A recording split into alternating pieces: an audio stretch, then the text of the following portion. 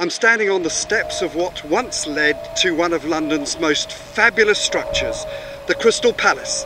It stood here from 1854 until it sadly burned down in 1936.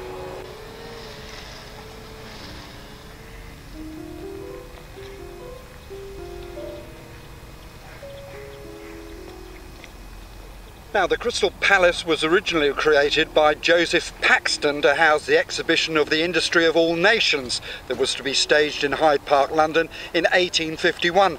Over six million people visited the great exhibition by the time it closed its doors. Joseph Paxton was knighted, and public opinion clamoured without success for the Crystal Palace to remain in the park. Fortunately, six gentlemen of means came to the rescue by purchasing the complete structure from Fox Henderson, the contractors who had erected and owned the building. And during the summer of 1852, a new site was found for the now redesigned Crystal Palace on Sydenham Hill in southeast London, and reconstruction started. Now, Crystal Palace was dubbed such by Punch magazine and eventually gave its name to this entire area of South London. The building featured courts depicting various periods of architecture, as well as courts of art and manufacture. And the grounds contained fountains, statues, trees, and shrubs. And the palace was also famous for its magnificent water towers, commissioned by Paxton and designed by Isambard Kingdom Brunel.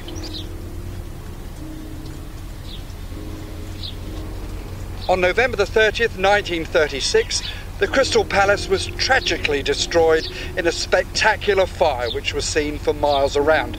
I can remember my father saying he sat on a hill in Weybridge, 20 miles away, and watched the palace burning.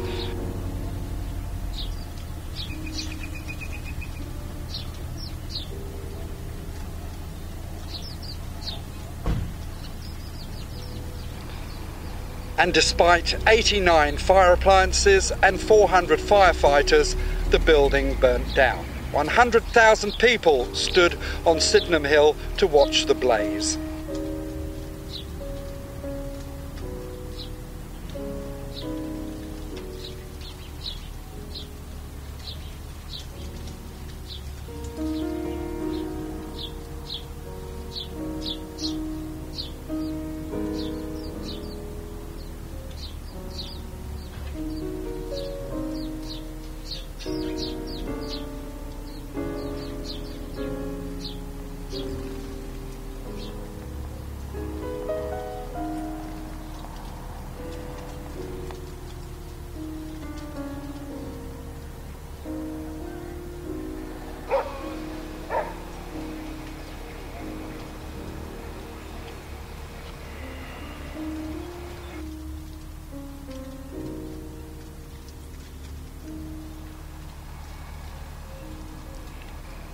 And this is where John Logie Baird carried out some of his early mechanical television tests.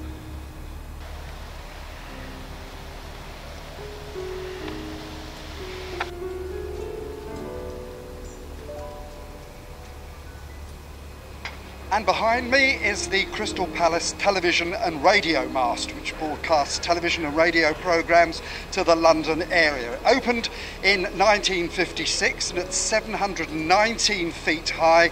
It's currently the fourth tallest structure in London. What programmes must have been transmitted from there over the years? John Cull from Qantas has been working at Heathrow for 28 years. I think from about the age of 10 I used to cycle to Heathrow, watch planes taking off, and that's where it all started really.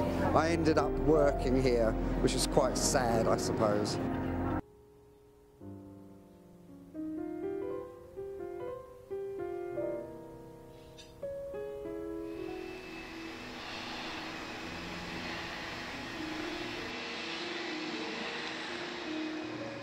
In 1864, a railway was built on Sydenham Hill. Not just any railway, but an atmospheric railway, and this is how it worked. There was a tunnel 600 yards long and 10 feet in diameter, and a carriage which held 35 passengers. The tunnel had an incline and bends. At one end of the tunnel, there was a steam engine which drove a fan and that fan sucked the carriage and the passengers through the tunnel. It returned using gravity.